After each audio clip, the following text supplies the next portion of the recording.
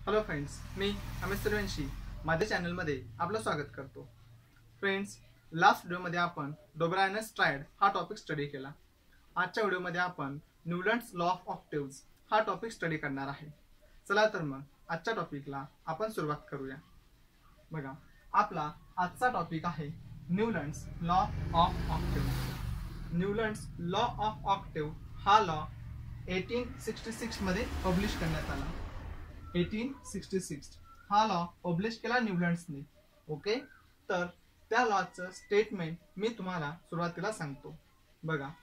न्यूलंड्सने असं आपल्याला सांगितलं when elements are arrange in their increasing atomic mass then every eight element shows the property of first element न्यूलंडचं असं म्हणणं होतं ज्यावेळेस एलिमेंटला आपण त्यांच्या इन्क्रीजिंग ॲटॉमिक मासनुसार अरेंज करू त्यांच्या फिजिकल आणि केमिकल प्रॉपर्टीच्या बेसिसवर त्यावेळेस येणारा जो आठवा एलिमेंट आहे तो प्रत्येक आठवा एलिमेंट पहिल्या एलिमेंटसारख्या प्रॉपर्टी आपल्याला दाखवतो. ठीक आहे? मग सुरुवातीला मी तुम्हाला त्यांचा पिरियडिक टेबल काढून दाखवतो. त्यानंतर त्यांचा लॉ पुन्हा एकदा समजावून सांगतो. आणि त्यानंतर आपण त्यांचे लिमिटेशन स्टडी करू. ओके? बघा. न्यूलँड्सनी त्यांचा जो पिरियडिक टेबल होता तो अशा पद्धतीने तयार केला. Hydrogen lithium beryllium boron carbon nitrogen oxygen fluorine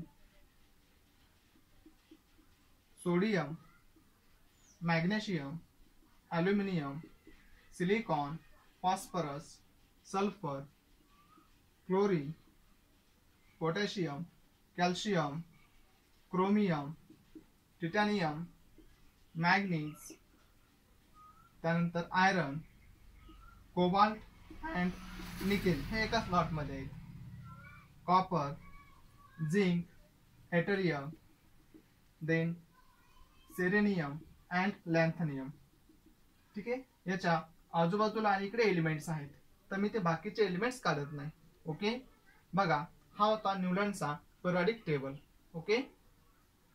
First second third fourth fifth six seventh आणि हा एट्थ एलिमेंट ओके त्यांचा लॉ काय होता? When elements are arrange in their increasing atomic mass then every eight element shows the property of first element म्हणजे येणारा जो आठवा element आहे तो पहिल्या एलिमेंट सारख्या प्रॉपर्टी आपल्याला दाखवतो. ठीक आहे? म्हणजे या ठिकाणी बघा आता हायड्रोजन हा जर पहिला एलिमेंट आहे तर हायड्रोजनपासून आठवा एलिमेंट आहे फ्लोरीन म्हणजे फ्लोरीन हा हायड्रोजन सारख्या प्रॉपर्टी आपल्याला दाखवतो. सेम फ्लोरीनला जर आपण पहिला एलिमेंट कन्सिडर केला तर फ्लोरीन पासून आठवा एलिमेंट आहे क्लोरीन आणि म्हणून क्लोरीन हा फ्लोरीन सारख्या प्रॉपर्टी आपल्याला दाखवतो.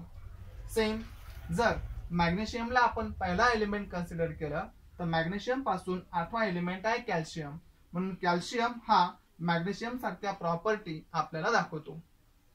किंवा बघा कार्बनला जर पहिला एलिमेंट म्हटलं तर कार्बनपासून आठवा एलिमेंट आहे सिलिकॉन म्हणून सिलिकॉन हा कार्बन सारख्या प्रॉपर्टी आपल्याला दाखवतो.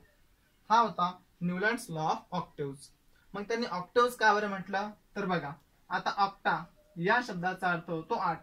ठीक आहे? न्यूलंड्सनी एट एटच्या ग्रुपमध्ये एलिमेंटची अरेंजमेंट केली. डोबरेनियर्सनं तीन तीनच्या ग्रुपमध्ये केली होती म्हणून ट्रायड्स न्यूलँड्सनी एट एटच्या विचामध्ये. मग एटच्या ग्रुपमध्ये म्हणजे काय? तर हे सात एलिमेंट आणि हा आठवा एलिमेंट म्हणून त्यांनी त्याला लॉ ऑफ ऑक्टेव्ज असं म्हटलं. आणि त्याचं कंपॅरिझन केलं म्युझिकल नोट्स सोबत. न्यूलँड्सनी त्यांच्या इकडे असणारे जे म्युझिकल नोट्स आहेत कुठले? तर डो रे मी फा सो ला ती आणि पुन्हा डो. जसं आपल्याकडे सा रे क म प ध नी आणि पुन्हा सा. म्हणजे इथे पण सा येतो आणि इथे पण सा येतो. म्हणजे पहिला जो स्वर आहे तो पुन्हा आठव्या प्लेसला रिपीट होतो. मग त्या म्युझिकल नोटच्या कंपेअर वरून त्यांनी याला लॉ ऑफ ऑक्टिव्स असं म्हटलं. ठीक आहे? मग आता हा जो न्यूलंडचा लॉ ऑफ ऑक्टिव्स होता त्याला काय लिमिटेशन्स होते. तर बघा पहिलं लिमिटेशन कुठलं? तर न्यूलनचा जो लॉ होता तो फक्त कॅल्शियम पर्यंतच लागू कर पडत होता. त्यानंतरचे जेवढे एलिमेंट आहे त्यांना Newlands law of octaves follow होत नव्हता. ओके फॉर एक्झाम्पल इथे बघा आता बोरॉन हा पहिला एलिमेंट आहे तर अल्युमिनियम आठवा एलिमेंट तर या ठिकाणी अल्युमिनियम बोरॉन सारख्या प्रॉपर्टी आपल्याला दाखवतो. पण जर अल्युमिनियमला पहिला एलिमेंट आपण कन्सिडर केलं तर आठवा एलिमेंट आहे क्रोमियम आणि क्रोमियम या ठिकाणी अल्युमिनियम सारख्या प्रॉपर्टी दाखवत नाही. किंवा हा जो आयरन आहे आयरन सल्फर सारख्या प्रॉपर्टी आपल्याला दाखवत नाही. आणि म्हणून त्यांचा लॉ फक्त कॅल्शियम पुरताच मर्यादित राहतो. हे पहिले लिमिटेशन्स दुसरं लिमिटेशन्स त्यांनी त्यावेळेस प्रेझेंट असणारे जे फिफ्टी सिक्स एलिमेंट होते त्या फिफ्टी सिक्स एलिमेंटसाठी फिफ्टी सिक्स बॉक्स तयार केले ओके आणि त्यांचं असं म्हणणं होतं की यानंतर एलिमेंट डिस्कोर होणार नाही. म्हणजे नवीन एलिमेंटसाठी कुठलंही प्रोव्हिजन त्यांच्या प्रोडक्ट टेबलमध्ये नव्हतं. हे दुसरं लिमिटेशन तिसरं लिमिटेशन फिफ्टी सिक्स एलिमेंट्स एका प्रोडक्ट टेबलमध्ये बसावे म्हणून काही काही वेळेस त्यांनी एकाच स्लॉटमध्ये दोन दोन एलिमेंट प्लेस केले. जसे या ठिकाणी सुद्धा बघा. सेरियम आणि लॅन्थनम म्हणजे एका स्लॉटमध्ये दोन दोन एलिमेंट आणि हे चुकीचं होतं. चौथं लिमिटेशन काय होतं? तर त्यांनी एका ग्रुपमध्ये वेगवेगळ्या प्रॉपर्टी असणारे एलिमेंट प्लेस केले होते. ठीक आहे? म्हणजे या ठिकाणी बघा इथे हायड्रोजन फ्लोरिन आणि क्लोरिन तिघही एकसारख्या प्रॉपर्टी दाखवतात. ओके? पण कोबाल्ट आणि निकेल यांच्या प्रॉपर्टी या तिघांपेक्षा वेगळ्या आहेत. या ठिकाणी लिथियम सोडियम पोटॅशियम यांच्या प्रॉपर्टीज वेगळ्या आहे आणि कॉपरच्या प्रॉपर्टीज वेगळ्या आहेत.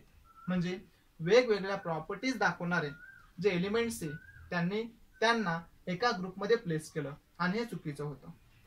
हे त्यांचे मेनली चार लिमिटेशन्स आहेत. एक्झाममध्ये आपल्याला define Newlands law of octaves किंवा state Newlands law of octaves and give its limitations असा क्वेश्चन विचारला जातो. ठीक आहे? आय होप तुम्हाला न्यूलँड्स लॉ ऑफ ऑक्टिव्स समजला असेल.